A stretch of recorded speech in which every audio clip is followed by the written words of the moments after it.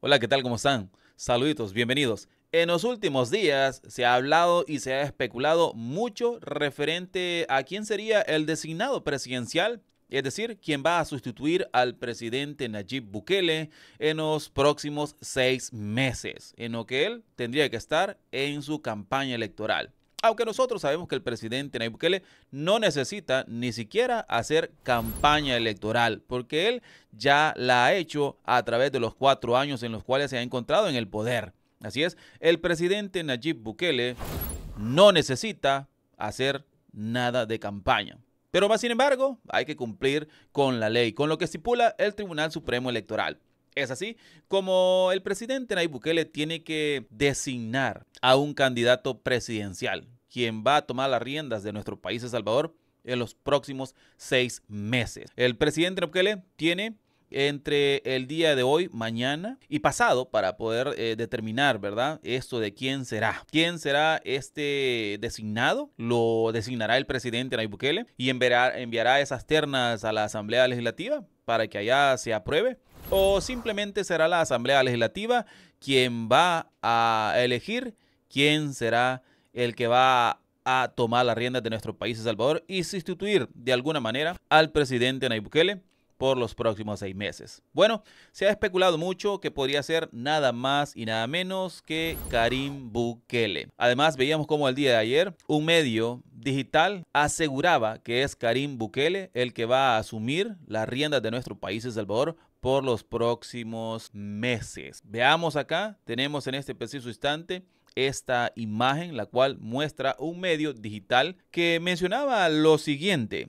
Este medio mencionaba Karim Bukele sería el sustituto del presidente Nayib Bukele en este periodo que otorga el Tribunal Supremo Electoral previo a las elecciones del 2024. Dicho cambio tiene que ser avalado por la Asamblea Legislativa y sería aprobado esta semana ordinaria 28 de noviembre y sesión extraordinaria el 29 de noviembre. Ahí tienen, esto es lo que se menciona, esto es lo que daba a conocer este medio digital que sería nada más y nada menos que Karim Bukele, quien asumiría las riendas de nuestro país, El Salvador, que sería el designado presidencial. ¿Qué creen ustedes? Quiero hacerles esa pregunta. ¿Creen ustedes que es Karim Bukele quien va a asumir las riendas de nuestro país, El Salvador? Muchos se expresaron a través de las redes sociales. Cuando vieron esta información, muchos decían que estaban de acuerdo, que no había nadie mejor que el hermano del presidente Nayib Bukele para este cargo. Y aún se mencionaba que el presidente Nayib Bukele, por ley, no puede designar a un familiar. Más sin embargo, que la Asamblea Legislativa sí tiene esa potestad de poderlo hacer. No tiene límites para designar a un familiar la Asamblea Legislativa y que por eso quedaría en manos de la Asamblea Legislativa la designación del designado presidencial, valga la redundancia, es decir, de quién va a dirigir nuestro país El Salvador. Bueno, acá les muestro también algunas palabras que daba a conocer referente a este tema, nada más y nada menos que el diputado del partido Gana, Romeo Auerbach, quien se pronunció y dice que la Asamblea no tiene impedimento para poder elegir a un familiar. Veamos qué es lo que él mostraba por acá de esto, mis amigos. Aquí se los muestro en este preciso instante. Ahí lo pueden ver. Él se encontraba mencionando eh, Romeo Auerbach. ¿Y por qué les da tembeleque a la oposición?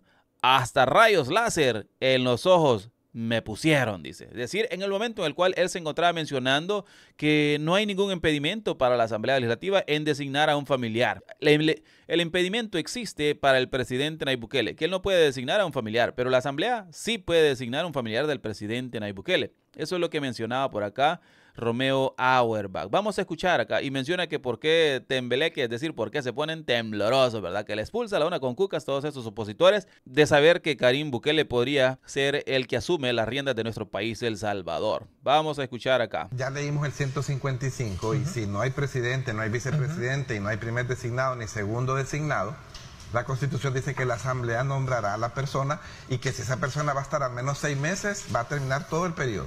Que en este caso así va a ser. En ese caso, la Asamblea no tiene eh, límites. de que haya una prohibición de quién puede hacer o quién no puede hacer. Por eso mi respuesta es que mi opinión personal Porque tú me preguntaste del hermano, no lo dije yo. Un hermano puede ser. Bueno, ahí escuchaban entonces las declaraciones por parte de Romeo Auerbach, señores, quien estaba mencionando que la Asamblea Legislativa no tiene límite. No tiene ese límite, tal cual como lo tiene el presidente Bukele de no poder designar a un familiar. La Asamblea no tiene ese límite. Es decir, si le tocase a la Asamblea poder designar quién sería, ellos no tienen ningún problema que les impida decir que un familiar o en este caso que Karim Bukele sea el designado presidencial, que sea quien vaya a tomar la rienda de nuestro país, El Salvador, por los próximos seis meses. ¿Qué piensan ustedes? Algunos decían esto no puede ser, otros dicen que sí, otros que está bien. Bueno, hay múltiples, pero múltiples opiniones ante, este, ante esto y será, bueno, ya el momento se acerca, ¿verdad? El momento cúspide en donde el presidente Nayib Bukele decidirá quién va a ser ese designado Está a punto de llegar, mis amigos. Ahí tenemos, se mencionaba que el día de mañana hay una sesión plenaria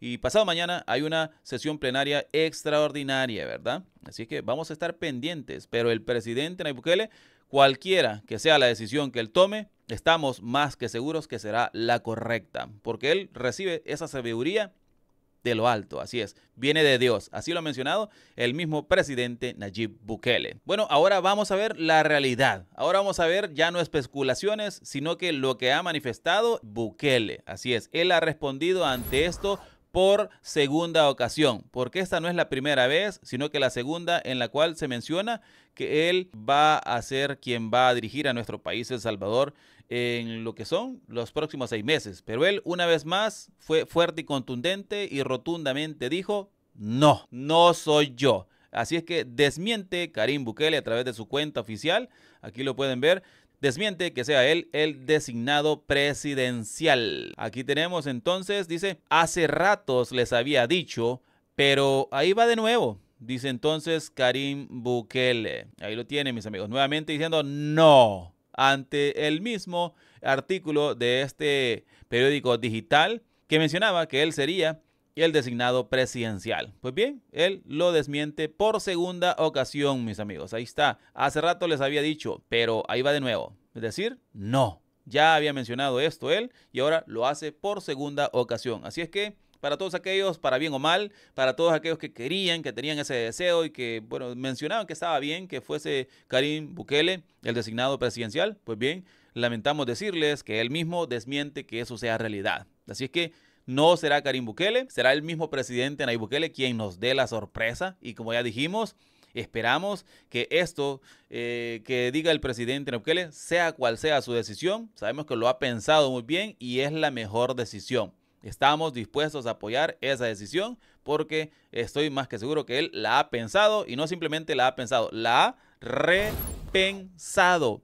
El presidente Nayib Bukele ha repensado quién será el que dirige las riendas de nuestro país, El Salvador. Tiene que ser alguien de su total confianza, ¿verdad? Alguien que en quien confía el presidente Bukele a ojos cerrados. Bueno, ahí tienen entonces esta información. Ahora, quiero mostrarles un detalle bastante importante que la oposición ni siquiera se da cuenta que ocurre en nuestro país, El Salvador. Miren esto, eh. Cancillería informó esto que es bastante importante. Los turistas salvadoreños ya no necesitan visa para ingresar a Perú. El Salvador se congratula por la decisión del gobierno peruano de eliminar este requisito migratorio. Lo anterior es el resultado de las buenas relaciones entre nuestros países y los destacados logros en materia de seguridad de nuestro territorio. Excelente, claro que sí, ¿verdad? Y tienen aplausos, por favor, mis amigos. Aplausos, por favor. Así es que ya no más visas para los salvadoreños para poder ingresar a Perú. Ante esto se pronunció el diputado Cristian Guevara. Veamos acá, él también menciona lo siguiente. El gobierno de El Salvador sigue consolidando la relación con nuestros hermanos de América Latina y con la comunidad internacional. Así es que excelente, ¿verdad? Claro que sí, eso es algo que ni siquiera se lo imaginaba, no se lo esperaba la oposición, pero ya está, mis amigos. Esto es gracias al gran trabajo del presidente Nayib Bukele. Así como también les muestro algo más que es gracias al gran trabajo del presidente Nayib Bukele. Bueno, gracias a Dios en primer lugar y luego al gran trabajo del presidente Nayib Bukele y de su gabinete de seguridad y todos los elementos de la PNC y la Fuerza Armada que arriesgan sus vidas diariamente para poder dar paz, seguridad y tranquilidad a todos y cada uno de nosotros. Bueno, el día de ayer fue otro día más con cero homicidios. Excelente noticia, ¿verdad? Finalizamos el lunes 27 de noviembre con cero homicidios a nivel nacional. Excelente. Muy bien, mis amigos les invito en este preciso instante a dejar su like, a compartir, a suscribirse y activar la campanita de las notificaciones para que no se pierda ningún segmento informativo de lo que ocurre en nuestro país de Salvador, acá a través de este su canal. Bendiciones, hasta la próxima, pásela lo mejor el resto de este día. Suéltela DJ, vámonos. ¡Salud!